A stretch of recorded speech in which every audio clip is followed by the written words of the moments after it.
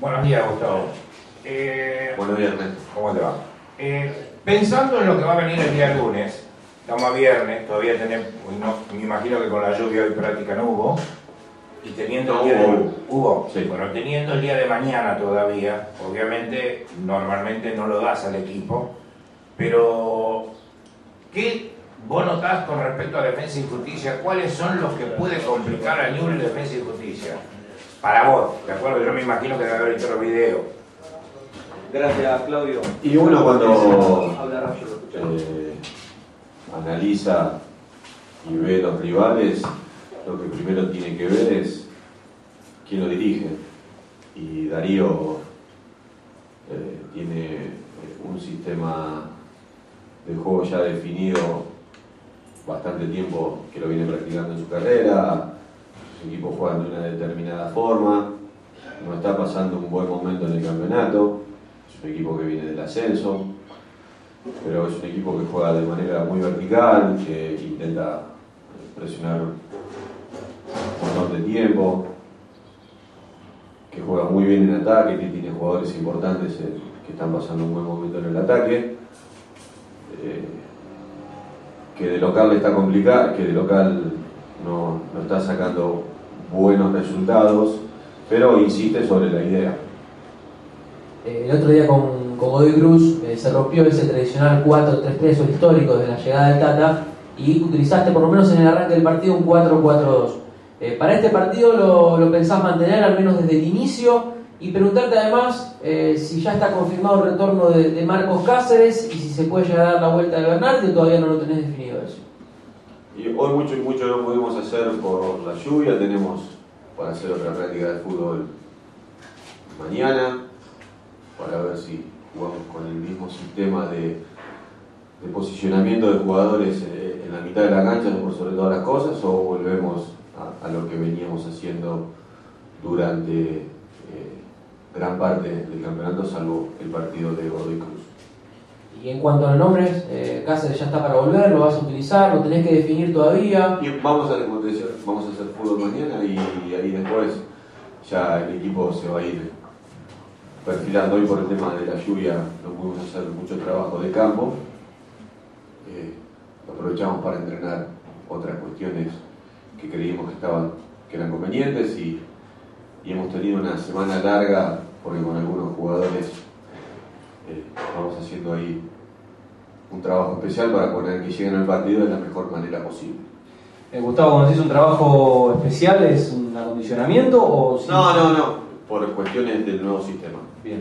Eh, bueno, en relación, a- eh, en relación al, al sistema táctico, eh, digo, ¿cuánto te, ¿cuánto te cambia desde lo nominal jugar con, con uno o con el otro? Digo, ¿Implicaría un par de cambios desde la formación eh, en cuanto a nombres propios? ¿O tranquilamente con los mismos 11 podés hacer el 4-4-2 o podés hacer el 4-3-3? Y se puede jugar con las dos variantes, son viables, eh, también vuelve el ancho de la suspensión, eh, podemos llegar a jugar con dos 9 de área, que nunca lo habíamos hecho. Eh, me parece que Francisco eh, el otro día hizo un buen partido sin, eh, en la lucha, en la fricción, en la insistencia, y a lo mejor nos puede liberar un poco más a Ignacio para que juegue como ha jugado durante gran parte de su carrera como segunda punta. Eh, estamos probando y entrenando algo nuevo para el grupo, algo distinto, eh, y esperemos poner el mejor equipo eh, el, el lunes a la noche. La continuidad de Silva y de Bustamante en el equipo, ¿de qué depende? ¿De lo que hicieron en la oportunidad que tuvieron el, pasado fin de semana? ¿Depende del rival? Quizás depende de otra cuestión, si es que siguen en el equipo. Del día a día. Mayormente el equipo tiene una base de jugadores que viene jugando con continuidad. Eh, Iván y Facundo eh, hicieron un buen partido por el contexto, por cómo venía el equipo, de dónde venía. Eh, y vamos a entrenar mañana. Ayer eh, hicimos un rato eh, de fútbol, venimos entrenando bien. Hoy nos podemos retrasar un poquito por el tema de la lluvia, pero mañana tenemos todavía Acá tenemos el domingo a la mañana para hacer algún otro movimiento táctico pensando de qué forma ganar el lunes. Gustavo, más allá de, esto que no, no podido trabajar eh, hoy por el, por el clima, te, hago una pregunta particular. Eh, el sistema táctico nuevo o este, este, que implementaste el otro día en el primer tiempo, eh, no sé si por eso o por otra cuestión obligó a la salida de Lucas Bernardi, que en algún momento siempre sostuviste que era un jugador insustituible en este equipo, que cuando él jugaba bien, obviamente el equipo jugaba bien. frente a este partido y este sistema táctico nuevo, ¿en ¿Entra Lucas en ese esquema, en un 4-4-2? Y si entra, ¿dónde lo ves vos eh, en ese esquema? Tal vez como un doble 5 un poco más adelantado, con, con, Silva más de tapón como el otro día, o, en ese esquema es mucho más complicado que este Lucas pueda jugar. No, puede jugar por el centro del medio campo. Eh, ahí como el doble 5. Y frente a esto, digo, lo consulto porque fue un tema, obviamente, en la prensa y en la gente, la salida de él el otro día. ¿Era algo charlado? ¿Era algo que tenía que ver con lo futbolístico? ¿Era algo para implementar este nuevo sistema? por ahí es algo que no se puede saber, ¿no? No, sí, nosotros contamos todo lo que se pueda contar. Eh, creímos con la gente que trabaja conmigo que era, el mejor equipo que podíamos poner en el aspecto futbolístico contra Godoy Cruz y tomamos esa decisión. Eh, Gustavo, el otro día, bueno, había pasado primero con tiene un error de, Hernán Villalba, que le costó un gol al equipo, una situación, una jugada parecida, eh, le costó a Orsán también un error y, un gol del rival. Eh, pero era un contexto distinto, fue después del clásico, después de una derrota y por todo el clima que se vivió. Eh, ¿Cómo se trabaja desde lo anímico con un futbolista que claramente se vio en el campo de juego después de ese error? Eh, la gente lo reprobó cada vez que tocó la pelota, se lo, se lo veía que no estaba bien él. ¿Pudiste hablar con él? ¿Cómo lo notaste? ¿Cómo se trabaja con un jugador así cuando está en esta situación? Los jugadores cuando pasan una determinada edad y tienen un determinado rodaje eh, en, el club, eh, estas situaciones la va curtiendo. Horacio fue un jugador muy importante eh, en el equipo campeón, en el equipo que jugó la Copa, jugó un montón de partidos, viene del ascenso, viene, sabe lo, lo que le ha costado llegar a este lugar Después uno está eh, en la determinación que tome de poner el mejor equipo posible para la cancha. Eh, uno habla lo justo y lo necesario, sabe cuando el jugador necesita lo mismo o, un abrazo y una contención. Eh, hoy lo que tenemos, siempre estamos convencidos de lo que mejor tenemos que hacer es seguir entrenando.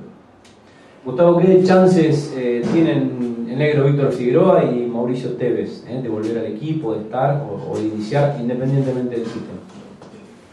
Y mañana vamos a volver a entrenar y ahí sí vamos sacándolo a Diego, a Raúl y a, Ezequiel, bueno, que está entrando en la etapa final de su recuperación. Eh, vamos recuperando jugadores, van agarrando continuidad de, entrenamiento y eso es importante.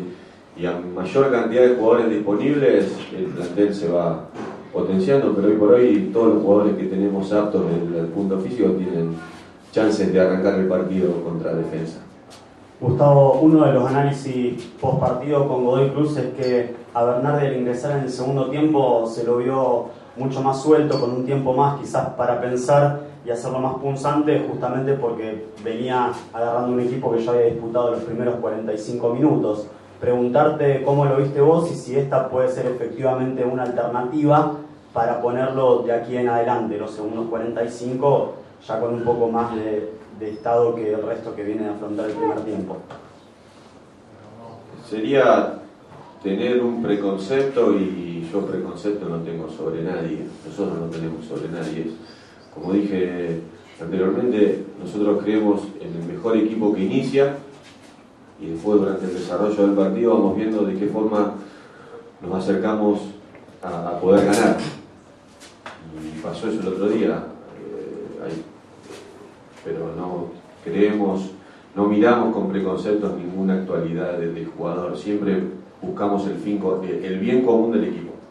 Gustavo, teniendo en cuenta las dimensiones que tiene la, cancha del rival, ¿crees que recobra más importancia lo que es eh, el juego aéreo y por eso quizás que puede volver a, ser importante en, el armado del equipo.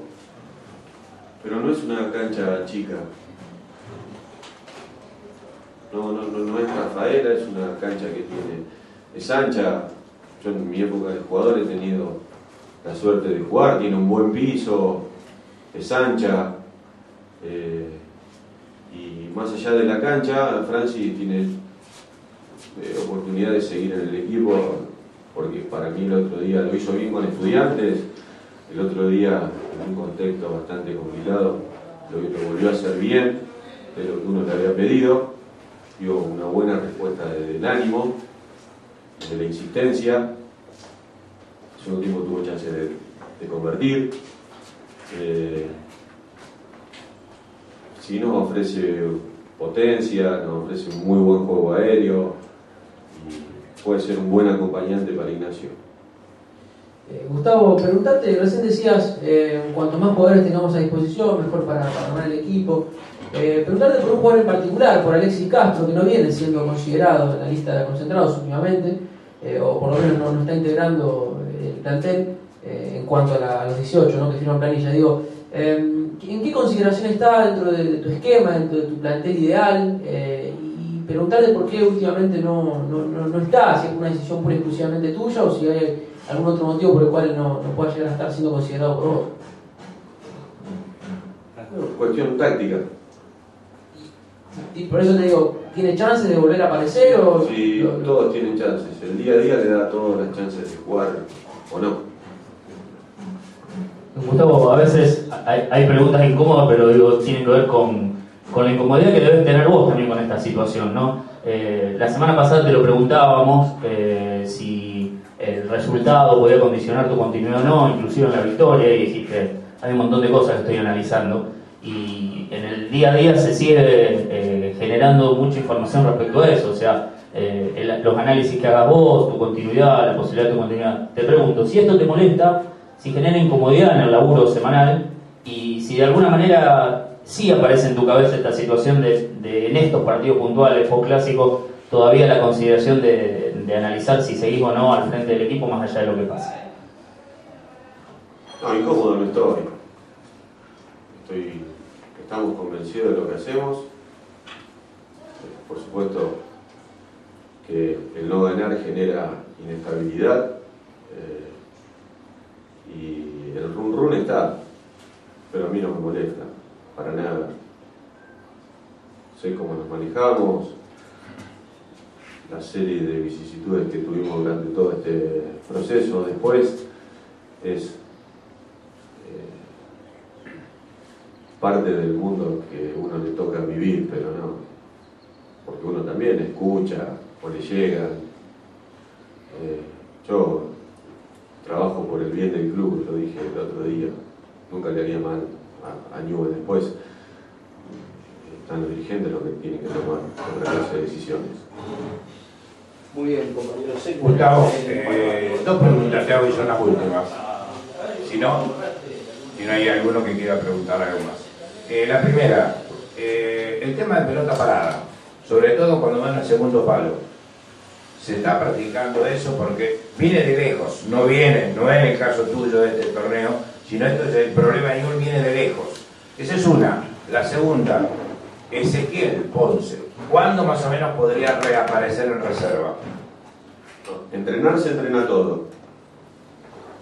Y eso lo vamos evaluando eh, en el día a día. Ya la semana que viene eh, se va a sumar a los trabajos en espacios reducidos. Viene muy bien, sin ningún tipo de contratiempos.